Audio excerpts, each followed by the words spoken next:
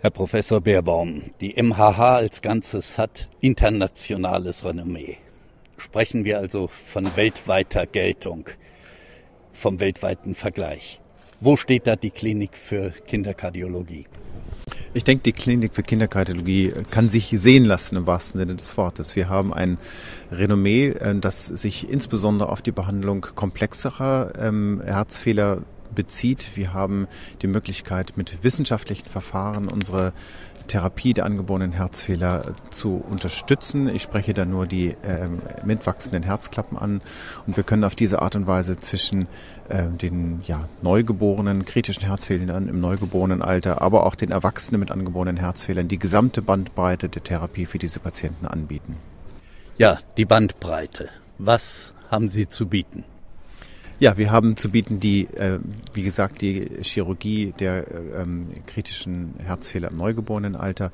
Wir haben die gesamte rekonstruktive Chirurgie des Aortenbogens zu bieten. Wir haben Single-Ventricle-Chirurgie zu bieten, aber auch die gesamte Palette der interventionskardiologischen Verfahren, wie wir die eben auch für die kleinen und die großen Patienten benötigen. Und das Gute ist, dass wir alles in einem Hause gewissermaßen äh, den Patienten anbieten können, in enger Kooperation mit den anderen Abteilungen des Hauses, zum Beispiel der Klinik für Kardiologie und der Klinik für Herztorx, Gefäßchirurgie und Transplantationschirurgie aus der MH. Was können Sie, natürlich zusammen mit Ihren Kollegen, was andere nicht können? Wir können sicherlich sehr profitieren von dem universitären Arrangement, was wir haben. Die Möglichkeit, mit allen Abteilungen des Hauses kooperieren zu können, den Erwachsenen mit angeborenen Herzfehlern eben auch die, eine kompetente Frauenheilkunde anzubieten, ähm, in jedem Bereich praktisch jedes sich auftretende, äh, jedes auftretende medizinische Problem mit höchster Kompetenz versorgen zu können. Das ist sicherlich sehr, sehr ungewöhnlich und das ist etwas, was uns gegenüber Herzzentren zum Beispiel sicherlich ein Stück weit in eine gute Position versetzt alle Fragen zu jedem Zeitpunkt wirklich beantworten und auch therapieren zu können. Sie selbst sind Spezialist für sogenannte bildgebende Diagnoseverfahren. Was ist darunter zu verstehen und wie weit gehen die Möglichkeiten? Nun, in der Vergangenheit ist die Bildgebung in der Kardiologie angeborener Herzfehler überwiegend die Echokardiographie gewesen und ähm, sagen wir, die Herzkatheterdiagnostik. Das hat sich in den letzten 10 bis 15 Jahren zunehmend ähm, geändert. Man setzt äh, die Echokardiographie natürlich immer noch als erstes Verfahren ein.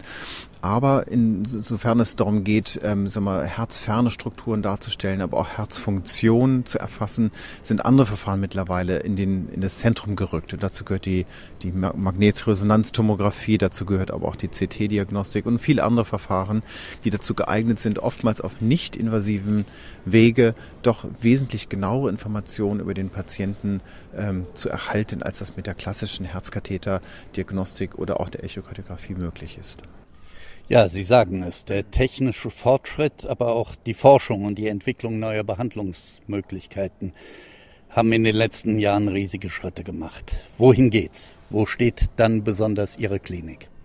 Also ich denke, wie gesagt, der Trend in der Diagnostik geht sicherlich dahin, immer mehr quantitativ zu werden, immer mehr Zahlen auch zu erfassen und nicht nur globale Eindrücke. Der Trend geht dazu, ähm, ohne in den Menschen hineinzugehen, diese Informationen zu erhalten. Der Trend geht dazu, immer mehr auch ähm, diese Informationen zur Planung zu benutzen und das, was man letztendlich am Patienten dann tut, also über den Herzkatheter als Intervention oder über die Operation im Operationssaal oder auch durch kombinierte Verfahren, dass man im OP kathetert oder im Katheterlabor operiert, sogenannte Hybridverfahren, das wird sich immer mehr entwickeln. Es wird immer mehr Kooperativität geben, es wird immer mehr abteilungsübergreifende Problemlösung. Ähm, das werden diese komplexen Patienten auch unbedingt brauchen. Das ist die Zukunft. Und in der Forschung ist es sicherlich, dass man eben ganz andere Wege gehen wird, um ähm, Herzfunktionen durch eigenes Gewebe wieder zu regenerieren. Das ist sicherlich ein ganz aufregender Bereich, der hier in der Hochschule äh, in Hannover, in der Medizinischen Hochschule mit ganz besonderer Intensität auch verfolgt wird. Ja, Stichwort Spezialisierung. Die schreitet, wie Sie ja selbst sagen, immer weiter fort. Wird irgendwann der Zeitpunkt erreicht, wo eine Klinik gar nicht mehr alles kann, wo äh, die Zusammenarbeit auch zwischen verschiedenen Zentren immer stärker sein muss? Ich denke, diese Frage stellt sich ähm, mehr für die Herzzentren, also Organzentren, die gewissermaßen für ein Organ das komplette Armatorium auch tatsächlich anbieten. Ähm, wir meinen an der medizinischen Hochschule, dass ein ganz wichtiger Schritt dagegen ist, ähm, ähm, Herzzentren innerhalb eines Universitätsklinikums anzubieten, sodass man eben doch tatsächlich ähm, über die reine Herzfunktion und Herzmedizin hinaus doch die gesamte Bandbreite der Probleme abdecken kann. Das wird in Zukunft immer wichtiger werden, ganz besonders dadurch, dass eben immer mehr Erwachsene mit angeborenen Herzfehlern auch ähm, spezifische Nachbehandlungen brauchen, Operationen brauchen, Interventionen brauchen. Die bringen aber vielfach auch andere Probleme mit. Ähm, und da muss es auch Antworten geben. Hier müssen abteilungsübergreifende äh, Kooperationen geschlossen werden. Und das ist das, was man eben versucht, wenn man sich auch als überregionales ähm, Zentrum für solche äh, Patienten zertifizieren lässt, sogenannte EMA-Zentren. Und hier sind wir auch froh, jetzt auch eine entsprechende Zertifizierung vorweisen zu können. Der Begriff Kinderherzzentrum ist nicht geschützt. Woran können Patienten und ihre Eltern für die Patienten erkennen, wo sie richtig aufgenommen sind? Wie finden sie die richtige Klinik? Also es ist unbedingt auch die Infrastruktur. Und während der Begriff tatsächlich nicht geschützt ist, das mag man bedauern oder nicht, aber es ist ja auch in dem Sinne jetzt kein Markenname. Es ist einfach doch so, dass die Voraussetzungen immer deutlicher werden und auch, sage ich mal, in den Regierungsbehörden doch immer mehr auch erkannt werden als solche. Es gibt in dem gemeinsamen Bundesausschuss zum Beispiel, der ganz konkrete äh, Vorgaben eigentlich auch formuliert hat, wie ein solches Kinderherzzentrum aussehen soll. Also dass also es unabhängige Herzchirurgenteams mehrere geben sollte, dass also 24 Stunden am Tag, 365 ähm, Tage im Jahr äh, praktisch jede Notfallmedizin angebunden werden können muss für diese Patienten, dass Herzkatheterlabore vorgehalten werden müssen, dass sie entsprechend auch ausgebildeten, kardiologisch ausgebildeten Intensivkapazitäten da sind und vieles mehr. Und dadurch ähm, ist schon, äh, sag ich mal, strukturell eigentlich ganz gut definiert, was man eigentlich haben sollte, wenn man seriös und wirklich in guter Qualität und mit guten Ergebnissen diese sehr schwierige Medizin anbieten möchte. Gut, Hannover kann all das bieten, aber wir stehen hier auf dem Innenhof der Kinderklinik und wenn man so ein bisschen den Blick schweifen lässt, es ist ein altes Gebäude. Eigentlich brauchten Sie eine neue Klinik, oder?